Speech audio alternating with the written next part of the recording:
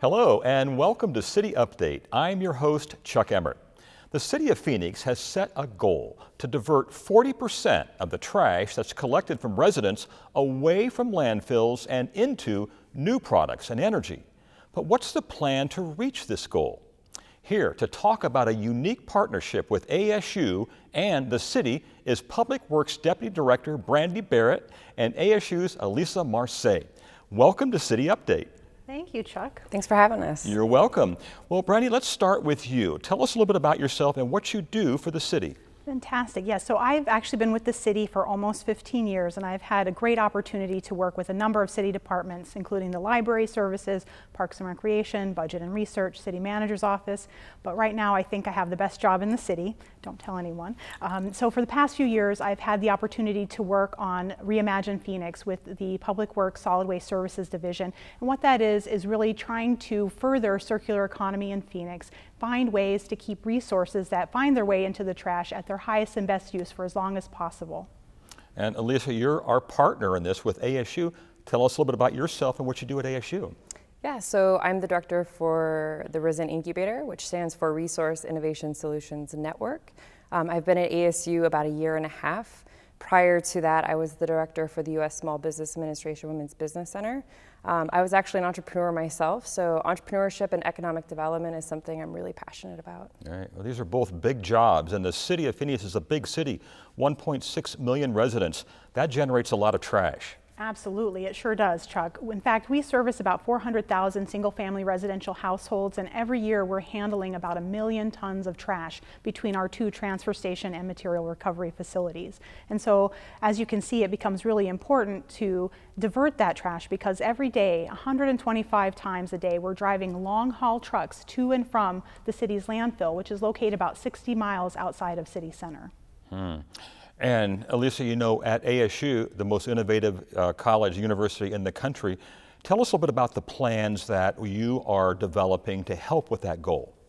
Yeah, so RISN was a partnership started with City of Phoenix. And so the goal was how do we collaborate and work together to accelerate this idea of circular economy? And I think what people don't realize is actually what we're putting out in the bins and the recycling bins actually has a tremendous amount of value. So how do we extend the life cycle of those products or how do we recoup that value whether turning into new products or uh, other types of raw materials, keep it in the economy longer. Right, how to do that. That's why we're looking for ideas from entrepreneurs, right? Yeah. Absolutely, and I think back when the partnership between ASU and the City of Phoenix was initiated, we had a few very visionary leaders. I think we knew at the time there were a lot of materials that were in the uh, waste stream that could be recycled or repurposed, but there were also a lot that there didn't exist a technology that was economically feasible, and that's what we're really trying to support here. And so back way back when in that document, they envisioned an incubator to help support small startup businesses and ventures who would be able to create those technologies to be able to keep those items in the circular economy longer. And what's amazing about it, I think, is with the collaboration. So City of Phoenix has uh, what they call feedstock, some of the materials from the recycling stream available for prototyping, testing, and then with ASU, um, ventures have access to faculty, to students, to labs for materials testing. And so the partnership really works to to figure out what do the ventures need to scale and accelerate, and then is it materials, is it um, technical assistance, is it access to labs? It's really the best of both worlds actually because you have all the theory and the robust entrepreneurship and innovation um, at ASU and you combine it with the real world problems and challenges that we're dealing with with all of these resources coming our way on a constant basis. Sounds like a great partnership. Now maybe we have some of our residents that are watching this program that might have an idea how would they get in touch with you? What would happens after that point? Great question. So we have an email box, reimaginephoenix at phoenix.gov. Um, and we also have a very robust website that talks about all of our different diversion programs. Uh, one of the things that we did is we really looked into what resources we had. So we did a, what's called a waste characterization study. And so we learned a great deal, actually. Quite a bit of what's in the waste stream are organic materials. So we created some new programs to help um, in a pilot area of our city our residents divert green organic material. So that would be tree trimmings, yard clippings. Um, also have a very close eye on some of the other higher commodities and developing programs and partnerships to really um, get those materials a new home rather than the landfill. And some of this could be uh, an app, or there's all, all kinds of ideas that are, are, acceptable for this. Is that right? Yeah, absolutely. So if somebody's interested in the incubator, we actually have a website, risnincubator.asu.edu, and we actually have an open call for innovation right now. So we're looking for people to apply. Um, they'll go through a selection process with City of Phoenix and ASU and different community stakeholders that evaluate all the applications.